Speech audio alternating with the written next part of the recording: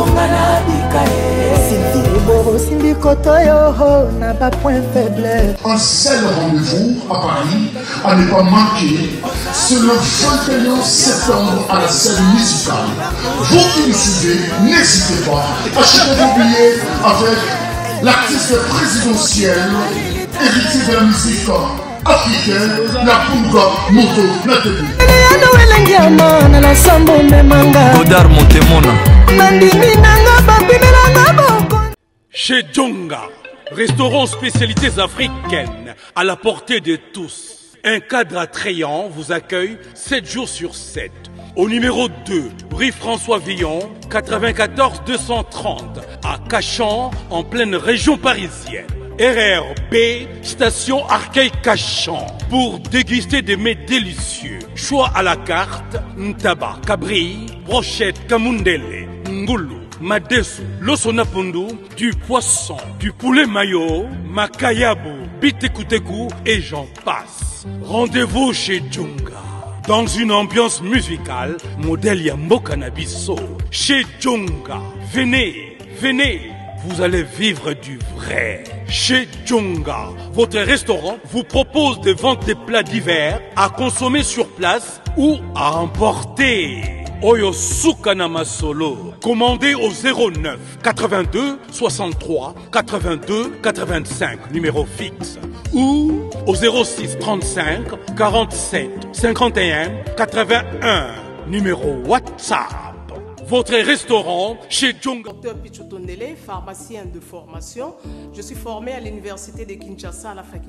faculté de pharmacie. Et puis je fais d'autres masters en transformation des agro-ressources à l'université Marien Wabi et au Canada en préparation de cosmétiques thérapeutiques naturelles.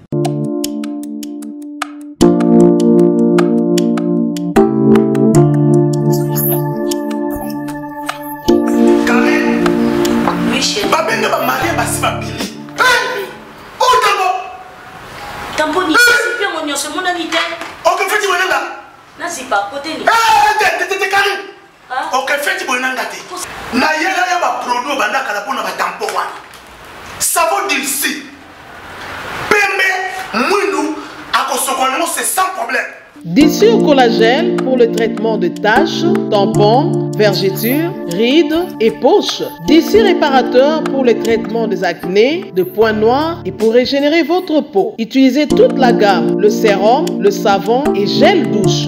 D'ici cheveux pour le traitement de cheveux abîmés. Utilisez l'huile et son shampoing.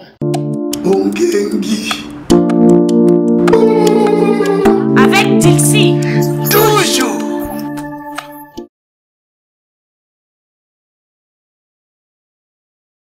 Mesdames et messieurs, bonsoir ou bonjour, ça dépend l'heure à laquelle vous allez regarder cette émission, les vôtres Prince Makali Mwanawa. Bienvenue dans ce nouveau numéro de cette émission, Elenga Komo Studio. En tout cas, nous sommes là pour vous servir, mesdames et messieurs les internautes. Merci pour votre attention particulière. Je reçois Couple Novelas saison 2. Couple Novelas saison 2, on va décortiquer, on va en parler ensemble avec elle. le idéologie amour. Pourquoi Couple Novelas saison 1 pourquoi saison 2 lelo na oyamba bango pour que tosolola na bango baza déjà wana mais avant cela laisse moi remercier mes différents partenaires puis sponsors officiels les gens qui me soutiennent merci koda mboka ya willy musheni merci na yo merci na ya bruno lubika mbongo ya propre l'argent non sale merci ya gisèle tati mama versas napesi yo mbote ebele motema vie na nga jiklo winner mesdames et messieurs comme je l'ai dit tantôt couple novelas ils sont déjà là Tracy Mbelenga pour la même magique okofungolela biso plateau pour que toyamba bango et napesi mbote mingi na Glody Diasuka la mignonne journaliste professionnelle couple Novelas bonjour à vous Bonjour le prince Bakali. Bonne santé. Santé kitoko nayo. Ouais, ça va très bien.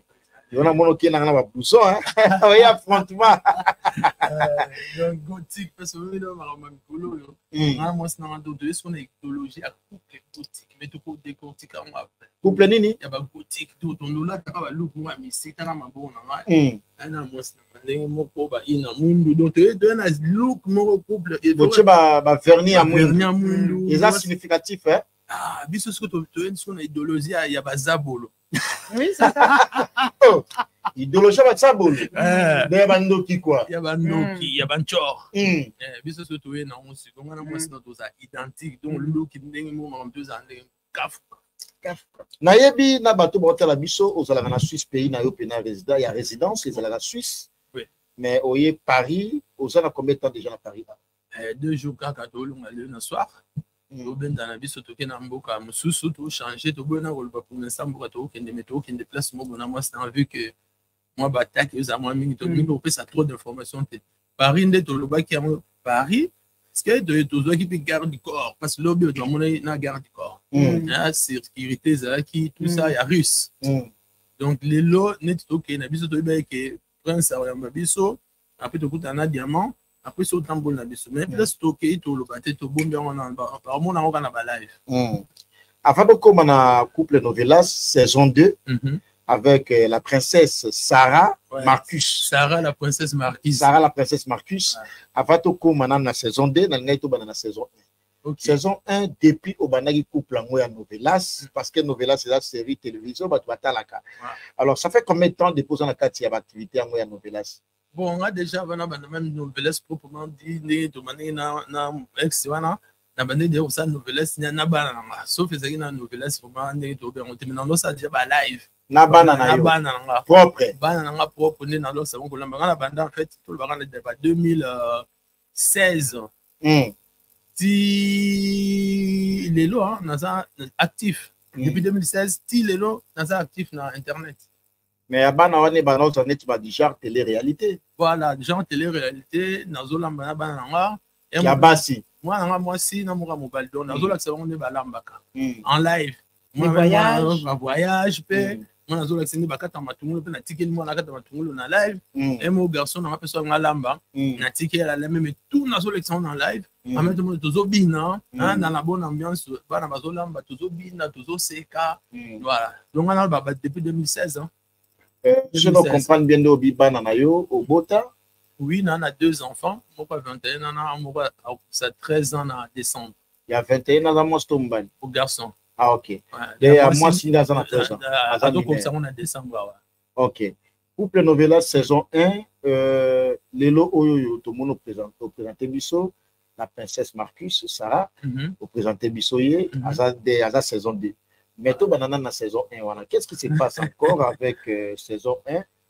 oyo toanda omona mwasi na yo bozalana na ye bato nyonso to bayebi banda omona yo na ye hmm. bosasu na ye su te bokawana fini terminé lelo c'est elle leli de mon cœur mwasi na ngai chéri na ngai donc ye ye nde moto akangi masolo ye nde bele bamomona ngai tout le temps tout le temps na ye parce que toza mpe na baprojet d'avenir ezali na baprojet ebele ebele ebele oyo tosala ensemble en commençant déjà bon tolobaki elook na ye tolanda mobali na ye esi ebandaki déjà est-ce que bino mibale boza ba congolais de père et de mère mais bien sûr bébé 100% hmm, ouais. à 100% 100% ouais ah ouais papa congolais maman congolaise hein? nga pe pareil nga hmm. papa na nga munyanga mama na nga pe munyanga abotama na deux panga ba congo père na nga abotama na luozi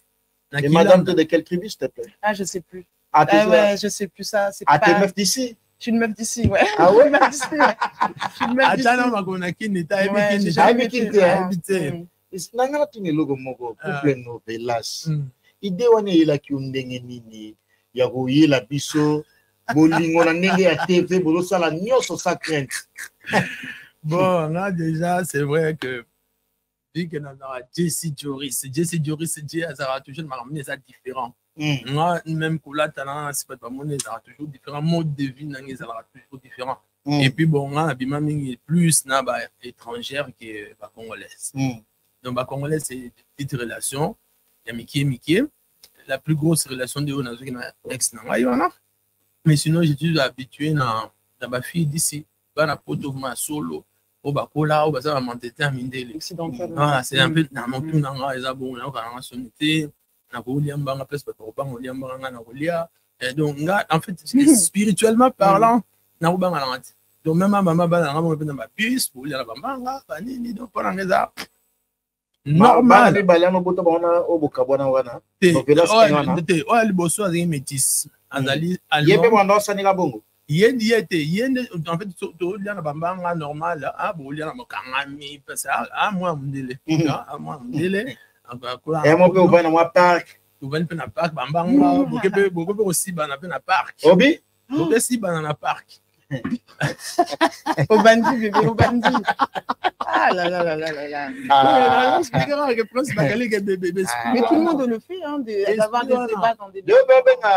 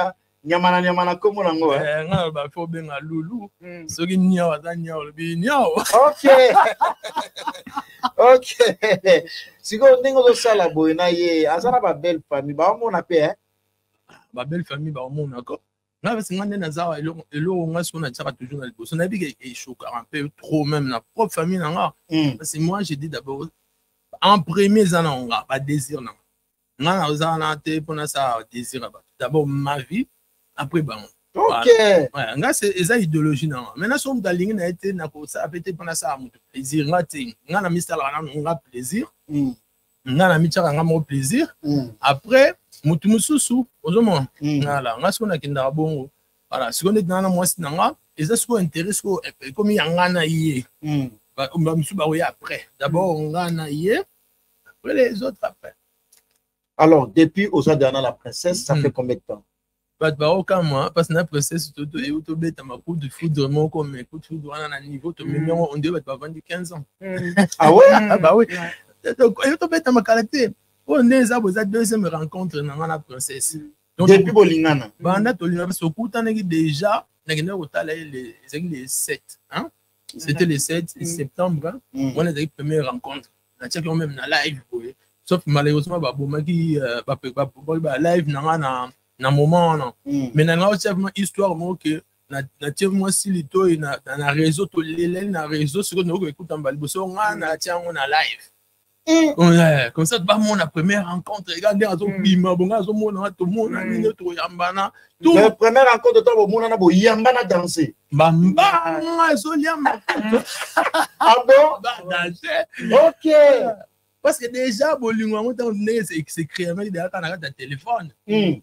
ekremaki na allure moko mais ondire su tomonana na front na bana osala te ah, na front donc love de donc to sentir que donc mm. ondire su tomonana mais na tomoni te donc grand lolango so okutana na ye euh, ozwa ye après séparation na yo na novelas 1 ouais.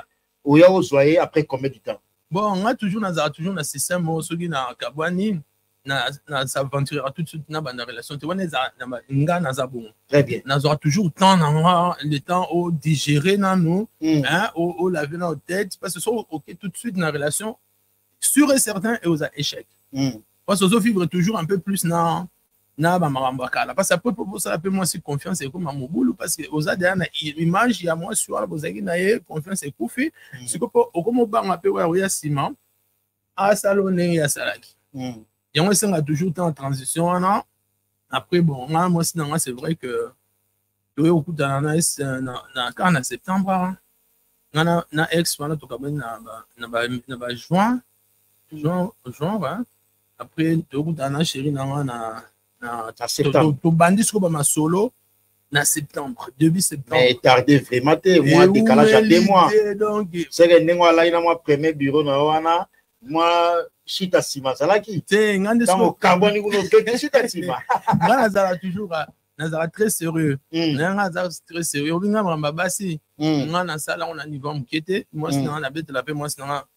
nga naza l'homme au record ndonga nga na banga suko fo batianga neti na lokola ba star ya, ya ba musicien mm. parce que naza na même puissance succès na bango bango babasi euh, nga nakoloba mata na ba plus de ba, ba 300 400 500 bala basi mm. wa et puis toutes les nationalités du monde et toutes les races confondues nga nazwango mais soki naye kokoma nde na moment moko boye sagesse ekoti na na besoin kimia parce que bamba basi wana soki oza na basi ebele après telefone bando kobomba wasu tranquille te ekomi kokosa esi okomi kokosa lokuta ekomi sikoyo vino ya lokuta na lokuta nga sikoyo comme nalingi baje wana susu te nazaka na mwasi moko tokabwani baoccasion mpe ezalaki na yango ya ntango tokabwanaki me nasala yango te na mwasi mpe aye kolala lelo na chambre nautai grèce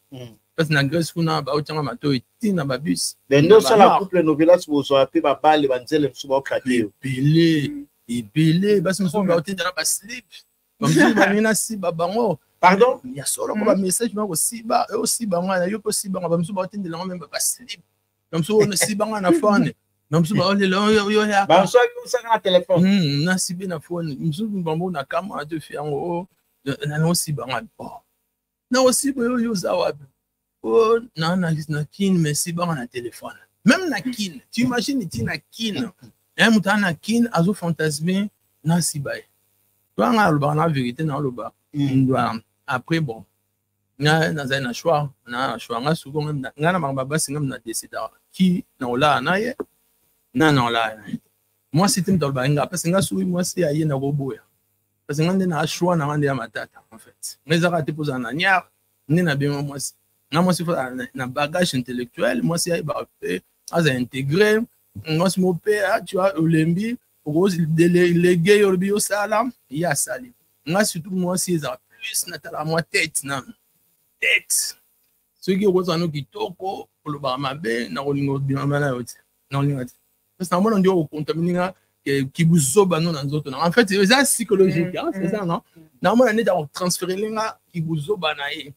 sikoyo nazalaka même moi soso azo prononcer ka bamo ya mabe nazalaka même na somo na lio mbango nayebi te eza moi soso aza trop vulgaire non aloba napesa nde exemple nyonso tobaka oyo na cross okokima mbango bango cross mona mwasi mosusu azo croche azala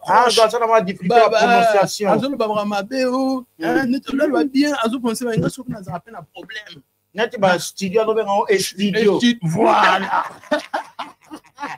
ok moi ekelaka nga problème namona yango nde donc tellement que en fait soki ozalaka mo moko mibale tokocomprendre mais soki alobaka mabe tout le temps tout le temps mpo na nga ça m'impacte eza na impact ya makasi mpo nalinga mwasi désolé mpo na bafille wana eza te na finga na nga bino te mais eza choix personnel donc nga eza bagout na nga ezala kutu physique déjà natya yango mwa moke na nsima parce que nga déjà basi na nina ya boye oyo ma princesse basi ya mike milai merci nga mpe biso moke nazwa mpe nazwa mpe quand même sarah la princesse marcus aloba mpe parce que bato baotala biso napesi mwasi ya mbongo toza na émission toza na émission mwasi ya mbongo napesi mbote ebele sere na ngai moko la marie moto oyo toningisa france mobimba asalaki mariage historique ivi mampia mwasi ya mbongo ivi mampia mwasi ya mbongo napesi mbote ebele ya na nga ivi mampia mwasi ya mbongo la brazzavilloise la congolaise napesi mbote ebele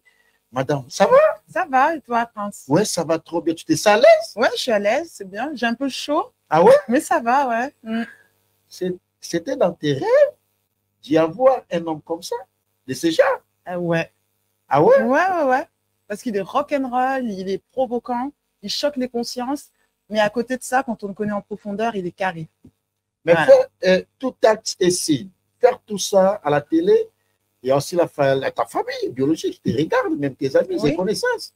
Tu es à l'aise je suis, à ce jour, je suis très à l'aise, puisqu'il n'y a pas d'image, à ce jour, compromettante. Donc, ma nudité n'est pas exposée. À ce jour, il n'y a donc je suis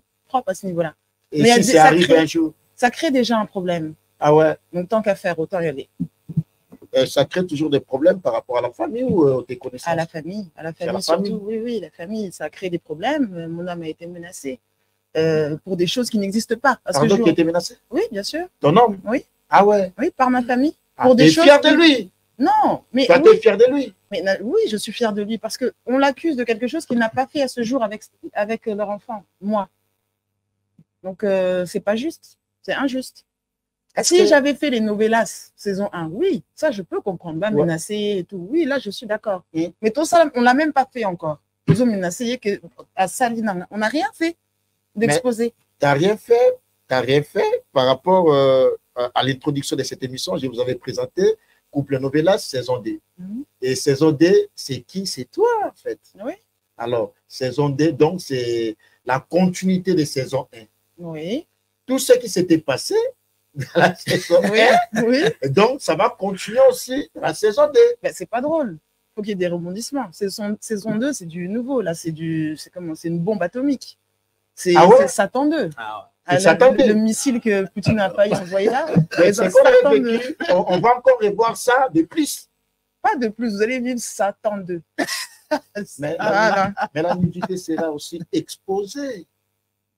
On réfléchit, c'est en cours de réflexion. Comment ça C'est en cours de réflexion. Parce que c'est satané. Hein? Ah oui, c'est en cours de réflexion. on va l'amener d'une manière aussi très différente. On va aller euh, sur des projets sensuels, voilà. Mais ce sera amené complètement différemment. Là, on est dans le futur. C'est pour ça que je dis ça 2. Voilà. Qu'est-ce qui t'a poussé euh, d'y accepter la demande de, de, sa, de sa proposition, j'allais ben, dire En fait, il n'y a pas eu vraiment de proposition. Hein. Ça s'est fait naturellement. On a le même mental, en fait. Moi et Jessie, à part visuellement, on a le même esprit et l'état d'esprit. Ce qu'on va proposer, et ce qu'il a même proposé, c'est un, comment, c'est euh, c'est hyper symbolique. Comment je peux dire ça, bébé C'est message en fait mhm. contre beaucoup de choses, mhm. contre ce qu'il a vécu, contre ah, sa famille. Tu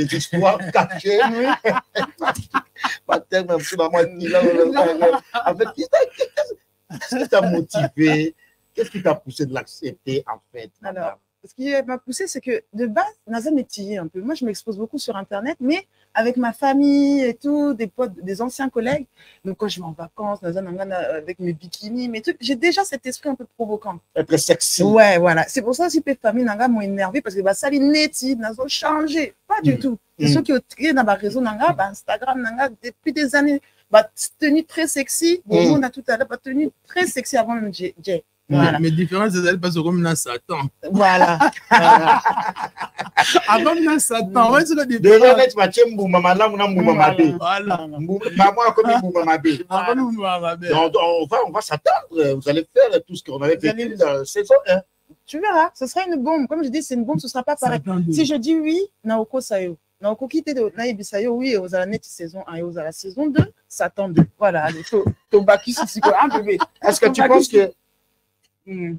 sabulu diabulu yango ete mabe neti koleka satan hmm. oyo eza missile neti ezoleka saison eh, missile eh. oyo ede mpo kaka ntango moke bolingani ah. makasi boye hmm. est des âmes sœurs en fait ah ouais on est des âmes sœurs prince dans cette relation tu attends quoi mais rien et tout c'est c'est magique. Mais mm. comment on peut expliquer ça Rien En fait, tu envisages quoi dans cette relation bah, Quand même de construire, évidemment, de construire une vie de couple longue, longue, longue. Faire des enfants, les Faire des enfants, oui, c'est dans le coup. Euh, mes enfants sont déjà au courant. J'ai parlé de Jay. Ah, tu as des enfants aussi Oui, j'ai deux enfants. Parce que lui, il en a deux. Oui, moi aussi, j'ai deux enfants. Ah, deux enfants. et 12 ans. Donc, j'avais quatre enfants. Quatre enfants, on va les réunir, on va faire plein de choses. Donc, on va construire dans le concret sur ces choses-là. Mais tu ne veux pas que ça soit une relation éphémère Ah, pas du tout. Mais ce ne sera pas.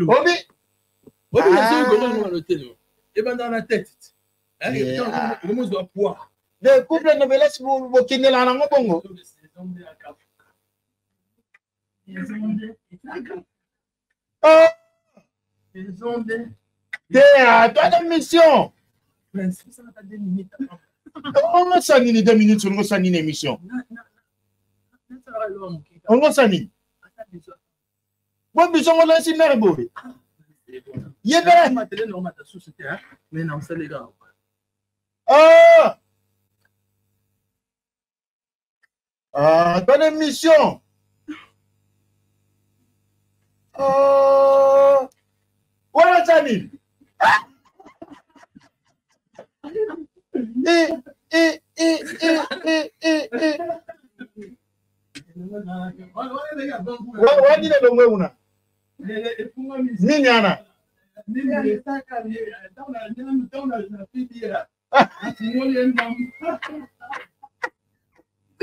Christine Belenga po anga ye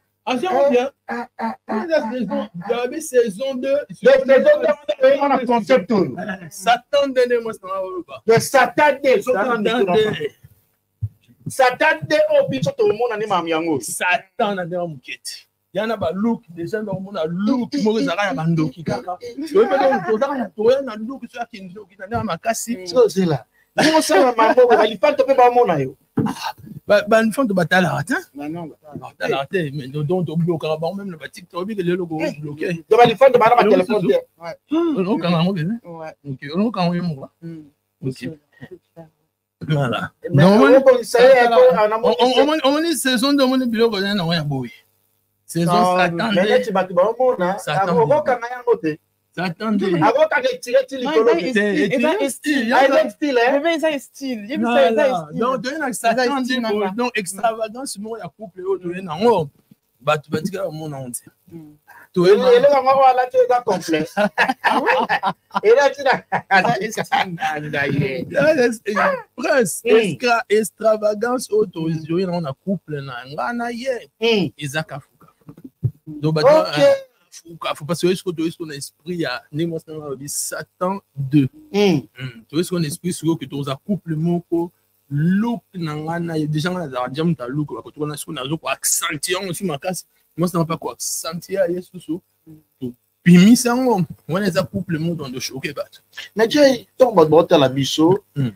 lelo oyo oyo kosala mambo bacongolais oyebi ke parmi bacongolais franchement personnellement congolais oyo nayebi asala makambo oyo oyo nasola na ye eza yo au voyagaka partout tantôt aux états unis d'amérique ozokende partout dans le monde hmm. ndenge osala yango boye oza na bapartenaire ou eza agence moko boye ou osala yango na propre consentement na yo en tout cas moi merci eza question moko très kitoko merci beaucoup ah, parce que moi à la base na motu moko j'aime euh, les voyages ozomona hmm. nalinga voyage na préfère kutu nakendanga banganda te et n'a qu'il va voyager n'a sonde son qui voyage n'est place dans sa ambiance nous mon na ambiance na Suisse bon non n'est pas Paris bon oui moi mon cœur ya de bêtises c'est pas souvent dans Paris mais dans la dans la Suisse n'a ça mutanda kazanie quoi mais na linga des voyages j'ai même mes moyens personnels moi mon les armes bon na ngamoko on a voyagé en angola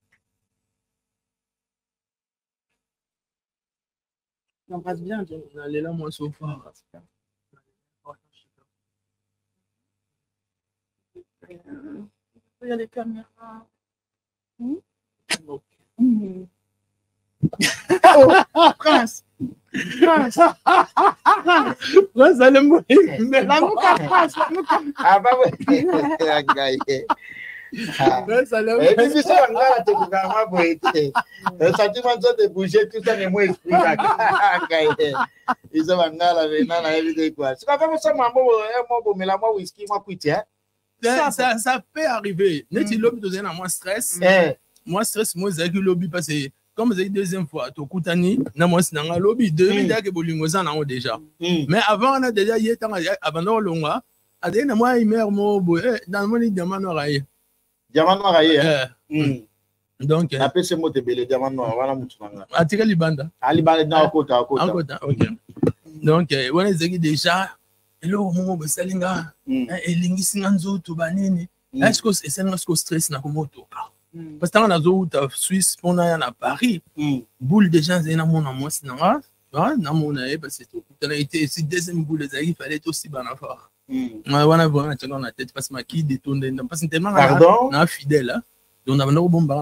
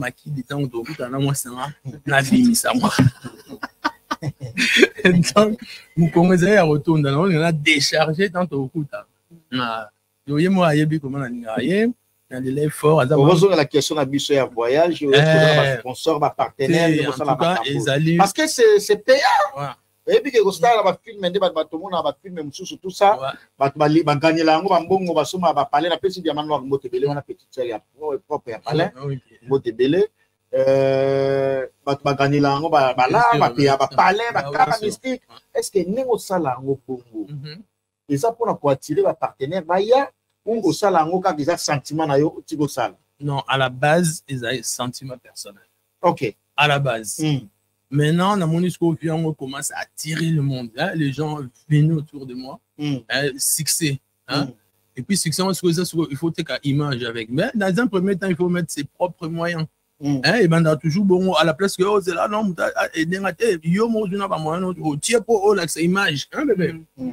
et c'est là où mwasi na nga saison 2 satan nde aye parce que siko satan nde sikoyo ye atimbeli siko mbwengi ndenge tokomema makambo yango donc azali en même temps mwasi na nga partenaire associé conseillère eh, ye abujaka ye aza te bapemi te ye atapaka kaka bobesi bulbo paya kaka aluki cakata kutudo donc c'est une aza vraiment atout na relation na ngai na ye tozomema na bi business mm.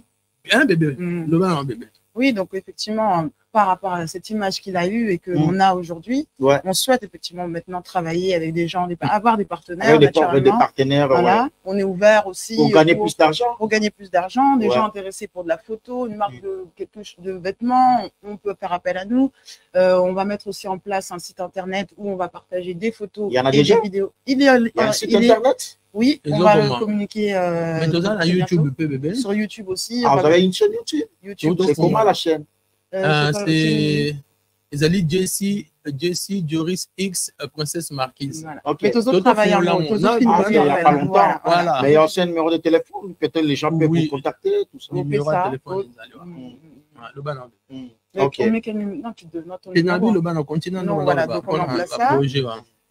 et, euh, et, oui, donc on fait aussi un, appel aux personnes qui souhaitent euh, partager un produit qu'ils font ou euh, un, service. Faire la publicité. faire la publicité, des fêtes, des mariages. S'ils ont besoin d'une présence comme nous, on peut aussi être là. donc oui, on va donner une dimension aussi pécuniaire, mm. financière à tout ça, évidemment. Mm. On ne va pas s'exposer sans avoir un retour.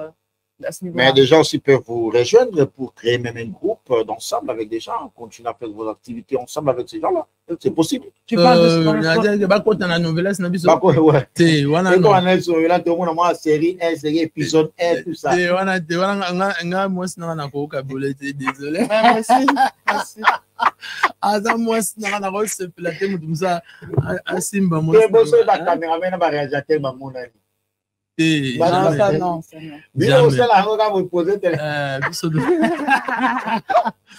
biso osalelaki mpe zuwa ah, ah moi c'est normal mais jusque là nana mais bato bamonaki déjà te nga amoni zuwa na nga eza mal déplacé te hmm. zuwa na nga eza tout à fait normal parce que a ah, mwasi na nga mais sikoyo jour nakomi odeplace so sikoyo nakomi omona motu nde akomi na intention mabe na mwasi na ngai la nakolamusa mwasi na ngai bakeba motu azwa na intention mpasi eza tout à fait normal mm. basi baza ebele mm. pourkui basi balingaka ojesi aponi alingi parce que ntango moto amoni deja aza na nga tika aza mwasi ya motu Mhm. mais congolais tellement azalaka ne euh, baafricain na tete na bango neti nakoma mona ata bamessage ekoma koyela nga so na tiktok nayebi te so bazokomela nga baokomela nakoma yebi basusu te mhm. soki ngai soki bacongolais bakomi nayebi bakomeli nga parce bango babengaka nga mingi je papa je banini mhm. na mosusu naomona baindien ya mibali baotindeli mitima ezobeta pupupu na bino o oh, atindeli nga atindeli mwasi na parce mwasi na nga tokota kala mingi te na jc joris wana je mais omona kamene na mibali bazotinda ba mitema banini bon nga aza nanga contre ba homosexuel te wana mona naloba yango moto moto asali vie na ye mais soki bato bayebaki nga nde na ba biloko wana te ngai nalingaka basi oyo bazokanisa soki ndeni mpasi namoni moto moko atinda yo message atuni ngo gs osololaka na mpe na bagay nase wi nga aza na problème na ge te nosala yango nde kaka te nakosala yango te apre mwasi mosusu akongolese te nani papa jesu yo olalaka na baje olalaka na bage nga na bise non nalalaka na bage te naza mm. nde na problème na bango te mm. mais au même monde ya lelo sans bage omata pe te ya mpasi bango basimbi bango ba business bage keba na monde ya business ya, ya mbongo bage moto bakanga masolo wana donqest-ce qu'il faut alors mpo kosola na bango kaka bien hein? te biso biso mpe bakamwa te soki un jour mpe so mm. bamoni mpe bage na, na milieu na biso bato bajuge na bango biso te parce que biso toza open na sens que là où tokoganye la azala ge soki moto aya na bule wana biso tokozwa nyonso mm. ah, bakamwa te ntango so mpe omona mpe na novelas na biso tovandi mpe tobengisi masa moko ya ge tolia na ye bato bakamwa te parce monde ya lelo business elege tomata tokita eza bage mais sikoyo bato mingi omoni bato baotala biso baya bruno lobika mbongo ya propre l'argent no sale mesdames et messieurs fidèles internautes je vous signale nous sommes en elenga congo studio hmm. euh, elenga congo studio en tout cas bozotala biso partout dans le monde prince bakali le vôtre toza awa euh, maambe bandi nouveau plateau yango oyo oza na besoin ya promotion oza na besoin ya partenariat oza na besoin ya basport ya makambo no ya baaktivité na yo plateau yango oyo oyo eza sukule na yamba yo na ndenge ya boye me toza na baplateau na bandenge ebele oyo je peux recevoir même une personne deux personnes ça va passer en tout cas toza na baplateau ebele awa Merci na bino nyonso to bato botalaka partout dans le monde. Merci maman Emeline Zemba ya tous pepele ya mbetelo ma maman chérie. Merci à Bruno Lobika, l'argent non sale, l'argent propre, ya Willy Moucheni, Koda Mboka, Maître Blaise Bekwa, cinquième date coach olympique, na Pesombo Tebele na Londres, et puis l'imbattable grand maître, Maître Jagger. maître ya deux maître maître jagger l'imbattable na peso mbote ebele maître jagger maître jagger mulela grand maître mbote ebele et puis maître euh, kevin cheval samson europe merci na euh, roi de france junior tchekfou roi de france mbote ebele junior tchekfou gelor roi ted w de paris na peso mbote ebele maître botamba drapeau blanc mbote ebele na bino nyonso tout couple novelas yes, tozokende déjà lentement sûrement vers la fin ya émission na biso okay. bato mingi baotala biso mm -hmm. bayebi ke ozalaka ndoki eh, bakisaka yo en fait so na bi bayebi ezangi nazo affirme wow. bakisaka yo ozalaka ndoki wow. est ce que bamakambo ozosala mm. oyo osalaka mpe ozomona te ke bazotape mwa kote te na baakisation na bango yango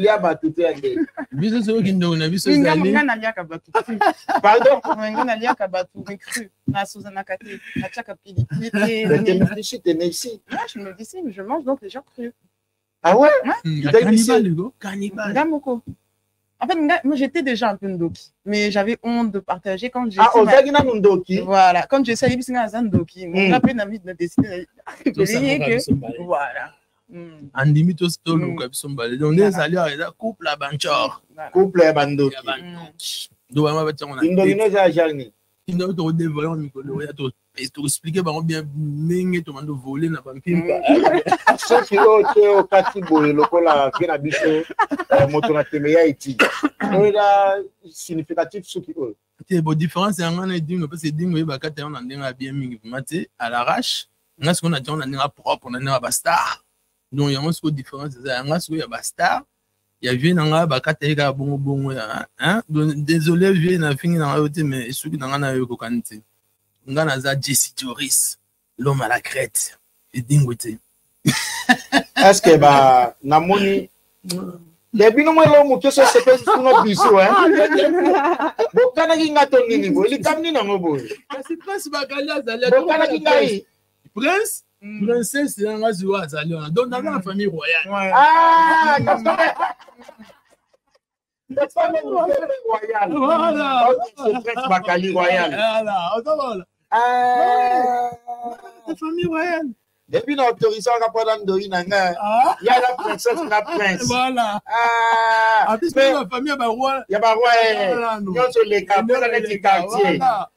ok ah me namonaka baya basine moko a ah, etiki eh, ngai etike eh, ngai eh.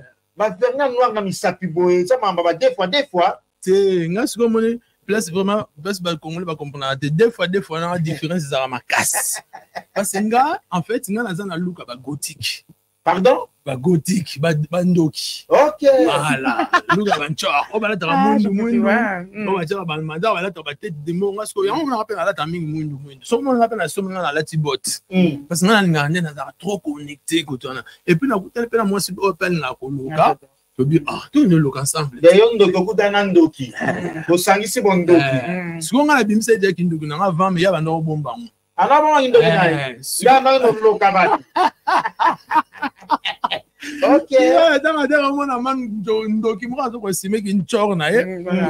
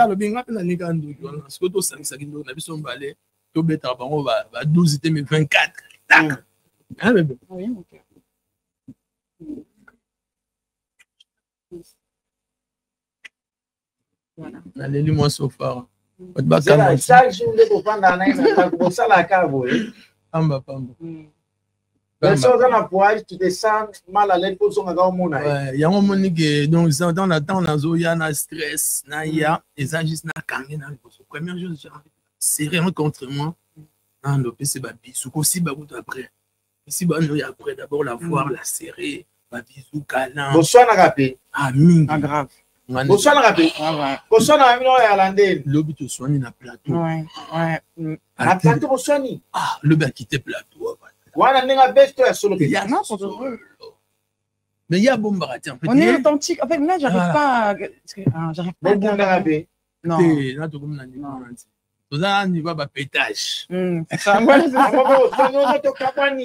te wana eyaka elanga mbala moko nde naboyaka ye na naboyaki ye na plein live oboyaki na plein live tellement azolela naboye na bino nalingi esusu te aboya réaction ezalaki nini ah, na bloqué bloqué Ah ouais? Oui, après atindi na message na TikTok. Eh, bon bébé, je t'aime, bani. Non, alinga nga mwana mwasi oko franchement. Donc soki pe acte role. Vraiment, et l'autre ça m'a peu force parce que c'est vrai que Azan a caractère. Nancy Blondin a caractère mais Hermonde a soit a pété, Azan maman a poteau ba ba pétage na maman ya seconde une autre a seki mona pa. Hein, a siliki. neti lobi na plateau ezali ah, tolobaka bien tosina tosilika te mais ah tak akite plateau mama vanda te atelemi ake okendima bikeye na yo ngai akontinue émission mm. eh, omona pa aye pa azongi lisusu oui mais bebe nazoekuti tikaka na osolola ti ah, donc no na émission wana bango mpe balobaki bakokata te babi bakotiaka mobimba wana soki omona toswana toswana makasi mais tolingana nde toswanelaka nde soki bolingo na biso soki eleki nde plus fort ke koswana mm. tomokoma nsuki emission na biso mm. est ce que okenda mpe congo nga nakenda congo na 2000 en 2021 nakei kongo na 2020 nakendaki na 2013 wana kuna memai na bana na nga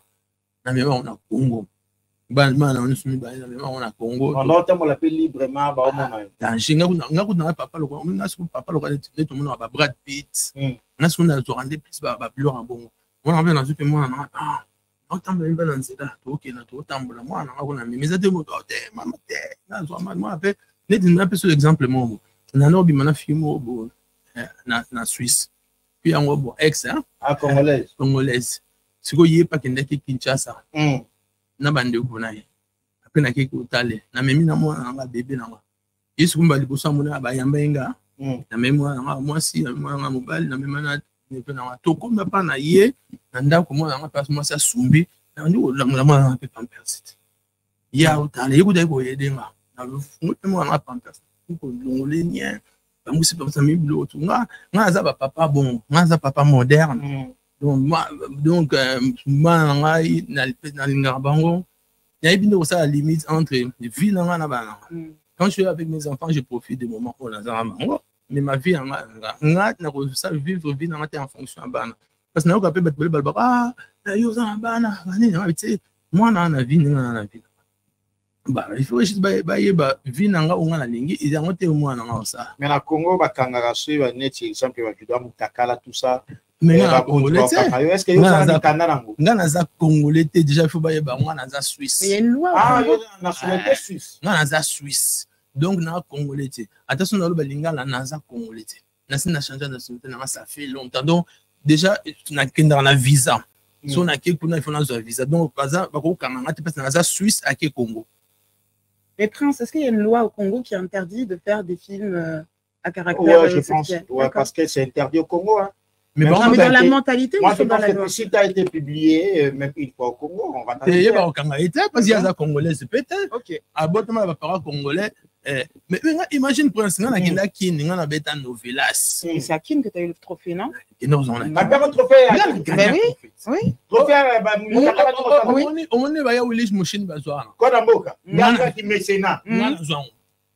Hmm. naye naye wili musheni bwa bacollege naninga batrophena batrophee hmm.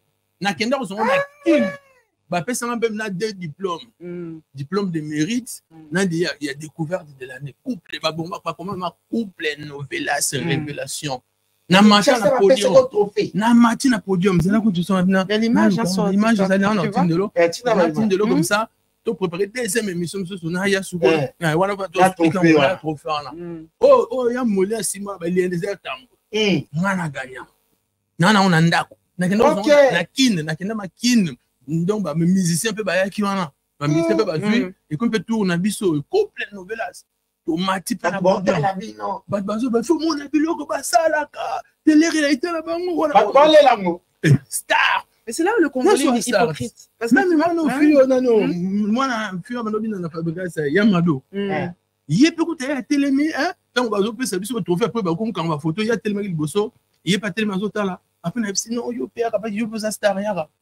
aye pembeni ah, ayebisa biso oyo nalela bino danger obi nini merveille ya ya mado ya fabrigas merveille ya mado abi alela bino abi alela bino atalaka mpe afima atalaka yango ayebisi nga bi nalinga bino makasi tokanga meme foto na ye kanga foto yo bino kombo napesa so exemple mosusu nakiti na kini na 2021 tokita nga na modogo abaramba Mm. Parce que Modoka Baram baza frère na ngati. To ba cousin. Ah Baram boa. Ouais. On appelle ce mot tebele yale. Yale. Mm. Donc ngana ito botama na ba mama mama na nga mama kulutu na ye. Abia ko conseil te hein o tika no mambo. Tout na nga je me suis sabia est-ce que makambo sala c'est tu te retrouves dans ça? On a dit oui. Je me retrouve. Talaka prince. Hein? Mm. Non, après na komi na kini bo ba mama na immigration na betana ko le moi c'est. Mm. Bazotuna même na avion.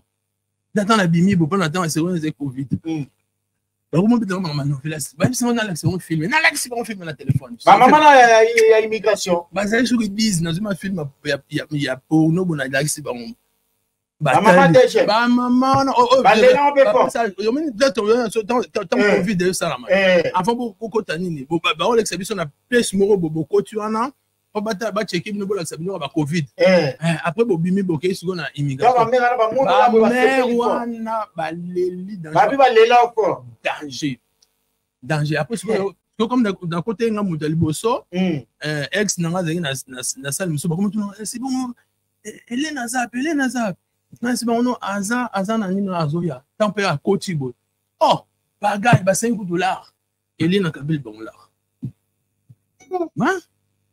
après tobimi sikoyo na immigration sikoyo immigration ma mwasi ya douanier na ya couple novela sikoyo oh, député na badepute bayebi nga yango ozala na kati action eza loba musicien abeta concert nga sikoyo donc pouvoir wana nakoma yango meme nga mwasi nanga amoni ti mwasi nanga abanda otala nga na écran kaka hein, atali nga na écran mais ayebaki degré te tobima na ye soko na nzela mm. hein, soko totambola amona pouvoir puissance na mindele na la poche tuna mwasi mm. nanga na mundele donc akisi nanga ezotouche na bamindele hein, bebe mm. akindoki wana ezoko na mindele okay. lobi na wasi kutu moto alati sécurité na bebilamba nayo neti bambila deux mètres ayepa nanga esese nakokanga snap nao te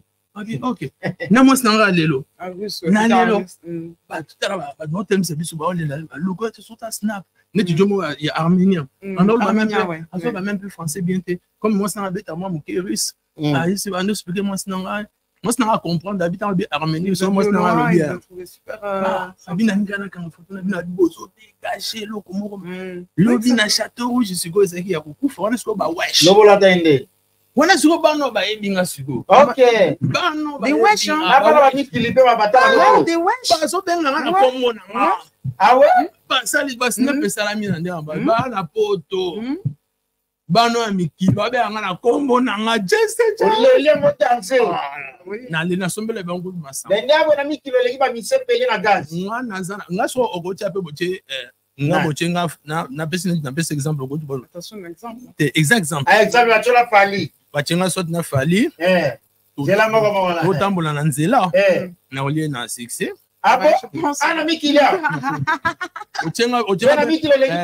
ocenga pena vieocenga pena vierambo nalio na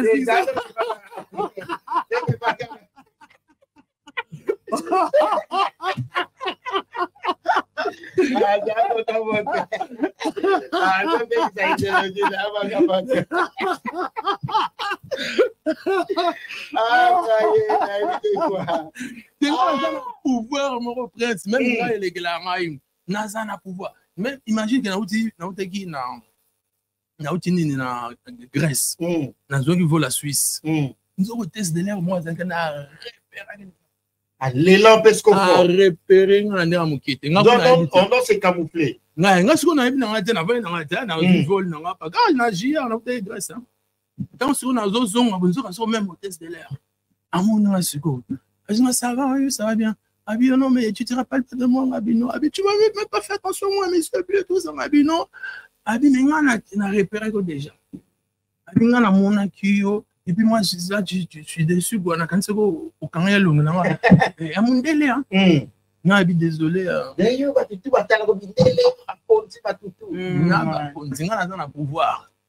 mais nde bato baotala biso boye basi nde baotala biso monde entier tresi mbelenga poso ezongelanga na bato nyonso baotala biso partout dans le monde couple novelas oyo bomoni na yambi lelo toyambi sara la princesse marcus marcuse marcuse toyambi ye bino bato bomoni nani motakala na ye te sikomona se basatandre mpo makambo osalaka yango wana seke basatandeke bakomona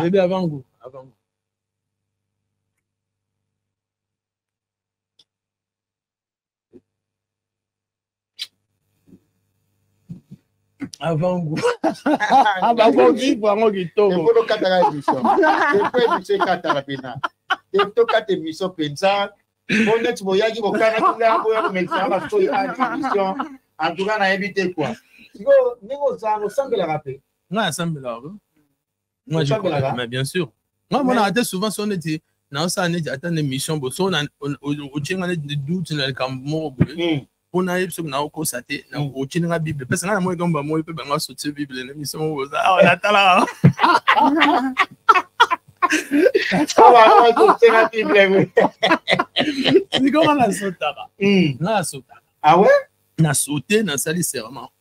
parce na okwa nzambe sote na mawebi ke tango lobo sambelaka bible yangi zoloba la nudité est sacrée te omoni place moko te bible mpe alobi ke oh, soki bandenge nini te mm. oyebi bible eloba makambo ebele ebele mm. na kati me bato basalala yango te mm. bato ebele baza hypocrite ozomona te motema mabe bato bayebi kopardone moto soki baloka moke moto ayini yo sikoyo bible mpe lobaki koyina te bango baovivre na babetise omoni so hypocrite nga nasibaka mwasi moko ozomona eza na bato mosusu ntango nga naza infidèle te nga so naleki so baproposition ya basi yango naleki soko ngambi na pona eza te moto aolanda banzele nga te nga naleka niveau wana nga nde sikoyo basi baza à la porte yo moto okopona nani olingi nga alingi na nga princesse na nga ngai naza fidèle fidèle mwasi na nga ayebi naza très fidèle ana moko likango aza te ye ndenge aza aza motema be tranquille nasi nayebisa ye eh, mwasi nanga soki akomi comprendre personne na ngai akomi koloba ok naza motema kimi abenga ngai ero nyonso alingi video taktak nga mpe nakobenga ye na video akobenga mpe na tete ozabi bebe mpe na video nakolakisa ye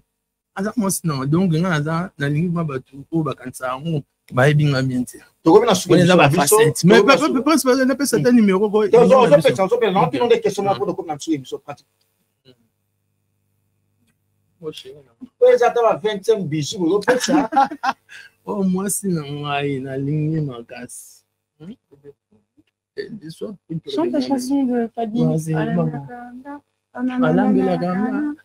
Eh, nanga natuna question moko hmm. musicien nani oyo aza préféré na yo epuis na congo wana na bamisere ezda kinshasa na congolais oyo aza mpena préférence na yo olinga en tout cas c'est vrai hein. nga na musique congolaise namonaka ba toza na batalent baza ebele mm. mais déjà na ndenge ya jeunesse na nga ndenge nga nakoleli mm. ti ndenge nakokoma mokolo eza kofi olomide mm.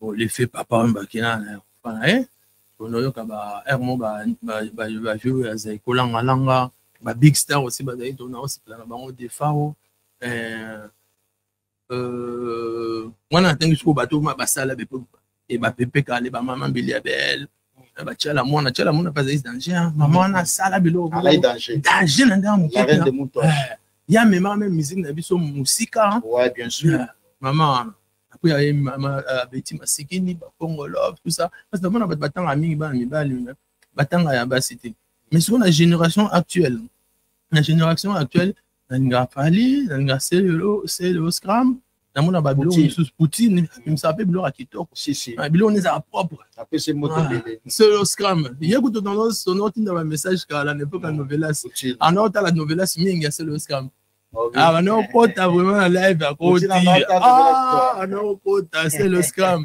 neti neti na bato bajuna mumba fo a londres ye mpe totinda na bamessage parce ngai aza na bastar ebele tosololaka mm. ozomona mm. euh, ebele mais en tout cas musique même juna mumbafu annonce ya biloko ya danger hein. juna mumbafu euh, selo scram euh, motu nalingaka mingi abeta matema kitoko fabrigas mm. ferigola ferigola ayebi lui aza na voix moko mais oh là là aza na voix moko en plus avantage aza nango ya koyemba tout okomemi na opéra ayembi okende bo ayembi nani susu nakokumisa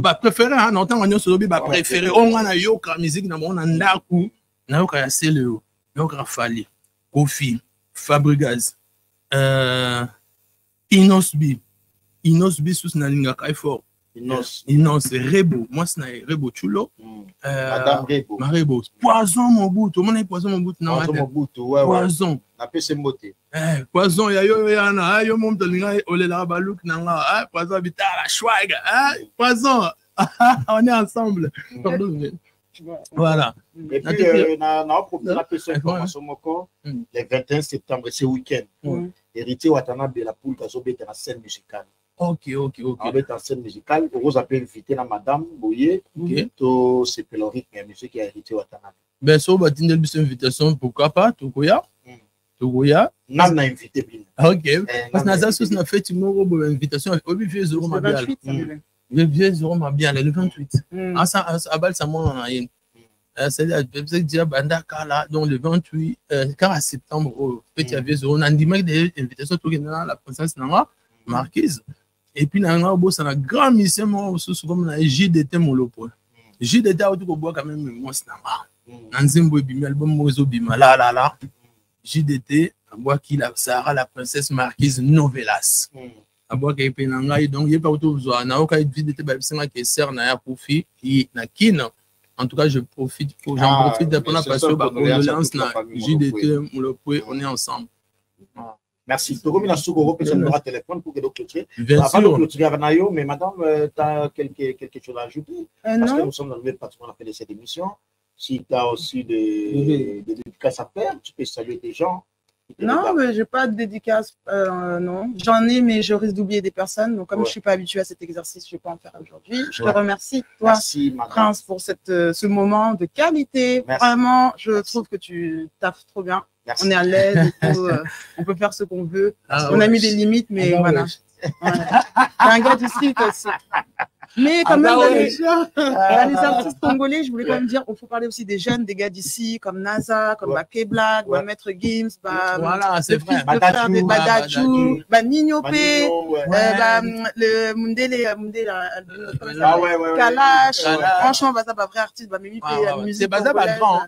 baza baapres abotama na kin aya nde ayaleshwa abotama na kin akolani mpe na kin baza ebele meme nano bakms o mwana vie nanga marai marai bobo oye mpe atika na komene combattant kms ala mwana vie marai mwana vie marai ti ndeko achanda bebe chanda kms a mwana vie marai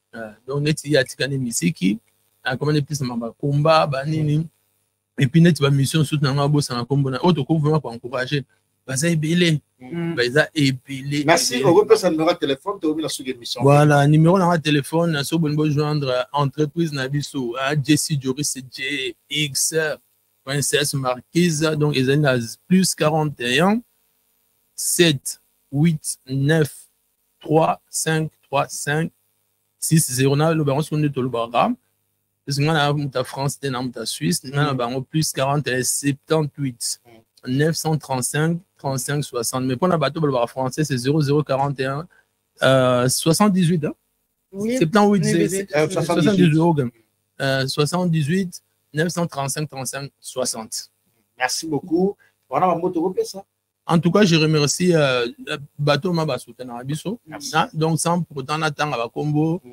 baza ebele, je vous remercie plus particulièrement na groupe se permettre na tanga ba bateau 3, on a ba ba soutien infaillible na na nouvelle saison 2 Chloé Monga na niveau Angleterre, Nadia Cardozo, Mama Bella Beauté.